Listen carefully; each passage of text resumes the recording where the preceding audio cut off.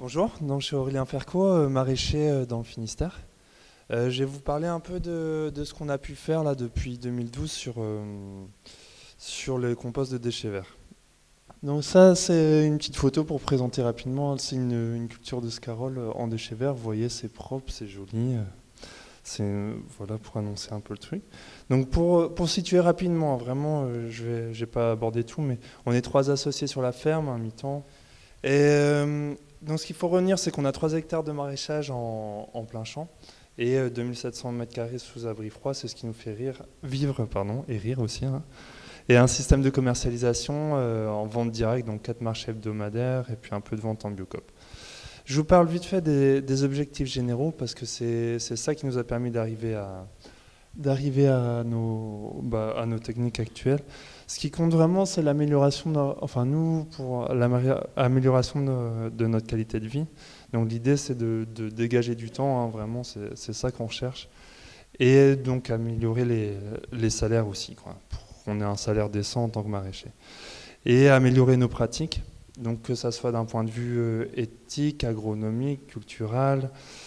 Euh, et aussi nos, pratiques au niveau de la santé, euh, s'épargner le, dos, préserver la santé, parce que c'est quand même euh, notre premier outil de travail. Et donc faire avancer notre profession en montrant qu'on peut travailler avec la nature. Alors le principe de base de la, technique, ça a été inspiré, euh, je me suis inspiré du livre de, Dominique Stoltner, le nouveau guide du, jardinage, si je ne me trompe pas. Donc l'idée c'était de faire une couche de compost de déchets verts de 10 cm. Donc c'est du voilà, hein, c'est ce qu'on trouve en c'est le compost de déchets verts, c'est les broyats des communes euh, qui a été composté. La 10 cm, c'est important parce que les, graines ne peuvent pas passer à travers les 10, 10 cm. En dessous, ça a tendance à percer. Nous, c'est les observations qu'on qu'on a pu faire. Et l'autre raison, c'est aussi 10 cm, bah, c'est un peu la dose minimum si on ne veut pas revenir tout le temps dessus. C'est-à-dire que si on veut en mettre que tous les 2-3 ans, il eh ben, faut quand même mettre une couche assez conséquente, sinon c'est absorbé, euh, il reste plus que la moitié. Euh, j'ai une photo après, je vous montrerai. Ou 6 euh, mois après, il reste plus que 4 cm et c'est pas très simple. Donc l'idée c'était de mécaniser cette technique et la rendre, enfin l'adapter à, notre structure, en tout cas, pas avoir à tout faire à la main. Supprimer le travail du sol par le paysan et diminuer la, diminuer la, voire supprimer le, désherbage. Et donc euh, l'intérêt c'était aussi de ne pas avoir à changer le parc de matériel pour bosser euh, en semi-direct dans ces conditions-là. Donc là, euh, en fait, on voit la couche de compost. Alors, c'est pas très clair sur la photo là, mais en gros, ça a été mis au mois de, au mois de mai. Et ça, c'est une carotte de garde, hein, c'est maintenant. Euh, il reste plus que 4 cm. Donc c'est pour bien vous montrer que, que 10 cm, alors ça c'est un sol, c'était au niveau des précédents, on a racheté à, des conventionnels et c'était blé, maïs, blé, maïs euh, tout le temps. Donc c'est quand même loin d'être des sols vivants. Hein. Ça fait que deux ans qu'on l'a. Et ben n'empêche qu'en en six mois, la moitié du compost a été absorbée. Donc imaginez dans une serre, euh, nous les serres qu'on a depuis trois ans, eh ben les 10 cm de compost sont absorbés euh, en quelques mois. Ça va très très vite. Voilà. Euh, donc j'amène un peu par l'historique, en même temps j'ai détaillé. Mais en gros, on a commencé en 2012 nos premiers essais, donc avec des plantations d'oignons et semis de carottes en plein champ, et sous abri euh, en automne avec des plantations de baies de persil. Euh, ces premiers essais, ça nous a permis de, voir un peu les problèmes qu'il y avait au niveau de la mécanisation. Donc on a eu, on faisait avec un petit épandeur 8 euh, mètres cubes là qu'on trouve partout. Euh, en plein champ, on a eu des gros soucis. Enfin, sur du vieux matériel, ça. Voilà. J'ai passé des heures quand il y avait un caillou bloqué à, réparer mon épandeur. Enfin, les joies de la mécanique avec du matos pourri. Et ça a ses limites en, plein champ parce que c'est vite des grandes surfaces. Voilà. Donc on a, voilà, on a commencé à élaborer différents trucs. 2013-2014, on a affiné nos techniques. Et donc on a abandonné, on a abandonné euh, l'épandage par nous-mêmes, on a fait par, par entreprise de travaux agricoles. Au final, ça nous coûtait nettement moins cher qu'aller racheter des pièces, passer du temps à réparer le matos. Enfin, voilà. Et on, a mis, on a aussi un peu amélioré les techniques de destruction, donc des cultures pour pouvoir passer à la suivante. donc les techniques de destruction, c'est surtout enfin, la plus facile, hein, ça reste la bâche en silage, tant que les surfaces sont pas trop grandes. Après, euh, après c'est pas simple. On est en train de réfléchir, mais en plein champ, euh, c'est pas très simple. Et donc 2015, on est passé euh, bah, la parcelle de carottes que vous avez vu. On a, on a mis 4000 m2 avec un gros épandeur là. On a, et ça s'est très bien passé. On n'a vraiment pas eu de soucis. Et on a converti l'ensemble des, des tunnels au compost. Alors je vous montre cette photo. C'est pour montrer que ça, c'est une une serre de 300 mètres carrés qu'on a fait à la main, enfin à la main, avec la caisse 3 points, et ça se fait très bien sans matériel aussi. Hein. Sous tunnel, ça, vaut le coup d'apporter la matière, même si on n'a pas l'outillage. Ça marche très bien. Alors ça, c'était pour vous montrer un petit peu un exemple de d'association de culture qu'on peut faire, enfin les possibilités que le compost euh, amène. Donc c'est une culture sous abri, une culture d'automne. On, plante la bête et le persil. Euh, et on sème le radis, tout ça en même temps sur la même planche. Et on l'a. Euh, donc c'est pour, une, pour une plantation semi fin août. Parce que nous, on a. Enfin voilà, c'est nos cultures d'hiver euh, sous abri. Et une fois que le radis est, une fois que le radis récolté, on sème de la mâche à la volée. Donc l'idée, c'était vraiment de vous montrer que sur enfin, la technique du compost, le fait de ne pas avoir à désherber, de, de maîtriser l'enherbement, et eh ben, ça permet d'intensifier énormément, enfin d'intensifier le, les cultures au mètre carré. sous abri, enfin, vu l'énergie que, ça, demande, ne serait-ce que par l'arrosage, le plastique, c'est des ressources, on est obligé d'optimiser euh, quand même ces, choses-là. Et donc, voilà, vous avez les densités au mètre carré, le, nombre de. Enfin, les bottes euh, ou le poids récolté au mètre carré, le nombre de coupes et tout ça pour vous dire que, en fait, ça c'est chaque légume au mètre carré, donc c'est sur une récolte de fin mars, d'octobre à fin mars, pardon, on arrive à, un chiffre d'affaires de, de, 100 euros au mètre carré. Enfin, pour vous montrer, je sais pas, pour un épinard par exemple, en pur, ça va être 15-20 euh, euros du mètre carré sur une culture d'hiver. C'est juste pour montrer qu'on peut vraiment intensifier les systèmes et optimiser nos systèmes. Voilà, que là, il n'y a pas possibilité de mécaniser, mais justement, comme, pas, comme on ne mécanise pas, on peut passer à la main, intensifier et, améliorer euh, nos rendements. Voilà, donc c'était un petit exemple. Là, c'est pour vous montrer, alors on voit pas bien, mais c'est la culture de bête persil, et qu'on s'autorisait quand même de temps en temps à mettre une bâche euh, donc ça c'est un des points noirs, c'est que si vous, avez laissé grainer un petit peu, eh bien, il peut y avoir pas mal de levées d'adventices, notamment le mouron. J'aurai un exemple après.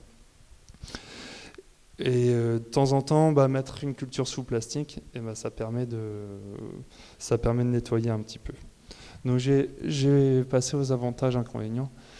Donc alors faut faire extrêmement attention aux vivaces, hein. c'est comme tous les comme tous les paillages de manière générale. Là, je montre un petit peu, mais c'est un semis d'épinards. Et donc dans ce semis d'épinards, eh ben, vous voyez le chardon qui est là. Bon, c'est pas... Il y a pour 20 minutes à enlever tout ça, hein, c'est pas le temps que ça prend, mais c'est c'est toujours pareil sur des petites surfaces, c'est facile. Quand on se retrouve avec un demi-hectare, avec du chien dedans, bah, le problème est différent. Ça, peut poser des gros problèmes. Euh, l'inconvénient aussi, c'est que c'est un excellent lit de semences pour bah, justement pour toutes les mauvaises herbes. Euh, on a eu cette année la, bah, la, culture carotte que vous avez vu. On a la, parcelle voisine, c'était du colza avec du laitron. Le, tous les graines de laitron ont, volé dessus au mois de juin et on a eu un, couvert de laitron sur les carottes. Donc c'est des choses à prendre en compte. Euh, c'est des choses qu'il faut apprendre à gérer. Et je vous montre, j'avais une petite photo rapide. Là, par exemple, c'est des, les tâches, ça correspond à un pied de mouron. Enfin, il n'y avait pas tant que ça, hein. mais il suffit d'un pied de mouron ou deux. Et la culture d'après. Ça, on revient à des, systèmes avec beaucoup d'enherbement. Donc il faut être très rigoureux sur, euh, la gestion de, des adventices. Ensuite, euh, la gestion de l'eau est complètement différente. Euh, Notamment pour les problèmes de levée. S'il a pas si on n'a pas d'eau dans les trois premières semaines de manière très régulière, ça ne lèvera pas. Enfin, clairement, il faut, avoir un arrosage assez rigoureux. Ou en automne, en plein champ, ça pose pas de problème. Mais au printemps, printemps-été, quand, on a des périodes un peu sèches, on peut vite, euh, on peut vite louper des, semis et avoir à refaire. Après, une fois, que, ça a levé, il y a quand même nettement moins besoin d'eau. Ça reste un avantage. S'il peut y avoir des petits soucis de levée aussi, euh, si, euh, si, le compost travaille encore. Et donc, un des, points qui peut varier d'une région à l'autre, c'est la ressource. Nous, on a la chance d'avoir une grosse plateforme euh, qui nous vend à, trois fois rien. Pour vous donner un prix, on est à 2 euros le mètre cube épandu au champ. Donc, on a un prix défiant toute concurrence avec un collègue. Donc, la ressource dépend aussi du coût et euh, dans le temps, voilà, est-ce qu'on aura de l'énergie pour, euh, broyer tout ça et récupérer tout ça. Et, euh, aussi le compost de déchets verts, selon les endroits, la pollution métaux lourd, est-ce que voilà, est-ce que c'est sain ou pas Les avantages, par contre, donc quand on vient le, quand on vient de le mettre ou qu'on a bien géré les adventices, il n'y a pas du tout de levée d'adventice. C'est vraiment très propre nous, on les met en, tête de rotation, mais souvent de la carotte, parce que c'est, on, a, on sème, on récolte. Et euh, sur une carotte, c'est quand même pas négligeable.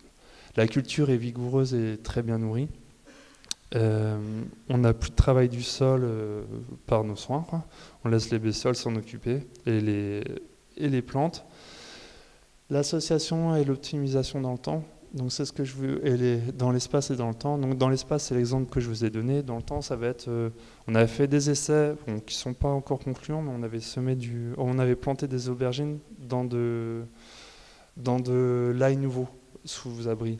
Donc ça permet de faire chevaucher les cultures en gagnant du temps et ça nous permet de pas avoir augmenté nos surfaces en tunnel et augmenter nos surfaces malgré tout. Donc ça, c'est un gros avantage. Mais donc nous, ça n'avait pas marché parce que là, il avait, quand même pas mal concurrencé le, pas mal concurrencé l'aubergine et on n'a pas eu un super résultat. Mais je pense qu'il y a énormément de pistes à chercher là-dedans et euh, voilà, pour qui veut, il y a énormément de pistes à chercher là-dedans. Ça permet du coup d'augmenter la densité. Vu qu'on n'a plus de binage, on peut, nous sème la carotte primaire à 10 en interligne. Quoi. Donc c'est vraiment très serré et on, a, on est à plus de, plus de 12 bottes au mètre carré. Euh, donc ça réduit le temps de travail et facilite. Euh, et c'est pas très dur à c'est pas très dur à mécaniser. Enfin, un épandeur à fumier, ça se trouve. Moi, je suis dans une région d'élevage, ça se trouve à tous les coins de rue. Hein. Au pire, vous demandez à un voisin de vous prêter. Si vous êtes en bon terme, il n'y a pas de souci. Et donc j'ai zappé, mais l'augmentation du chiffre d'affaires au mètre carré, dans, des, dans des problèmes ou enfin, dans des zones où les surfaces sont. Enfin, dans un contexte où il y a de plus en plus de problèmes de foncier, et eh ben à notre niveau, on peut quand même vraiment euh, optimiser la, bah, la production en mètre carré, quoi, et donc le chiffre d'affaires. Alors ça, rapidement, c'était juste pour montrer, euh, ça c'est une culture d'aubergine, de concombre, de salade, enfin c'est un petit peu la jungle mais euh, c'est quand même très productif et on peut vraiment associer énormément de choses. Et donc pour conclure, donc pour moi vraiment il y a, y a, un intérêt réel sous abri.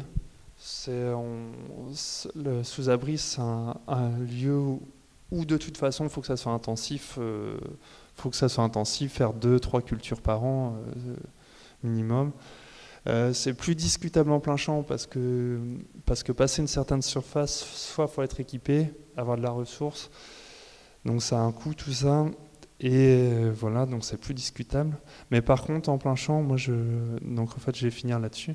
Je pense que c'est une très bonne méthode pour apporter euh, des, matières, des gros, très très gros volumes. Hein. Nous on est à 1000 mètres cubes de compost hectare quand on amène, enfin 10 cm c'est ça, 1000 mètres cubes hectare, donc c'est des très gros volumes et ben, ça permet de relancer les sols euh, très rapidement. Parce que nous, l'idée, c'est qu'on on fait en gros un an et demi, deux ans sur compost, et après on sème un engrais vert de, engrais vert d'hiver pour, pour essayer de démarrer en, en semis sous couvert. Là, c'est les essais qu'on fait actuellement.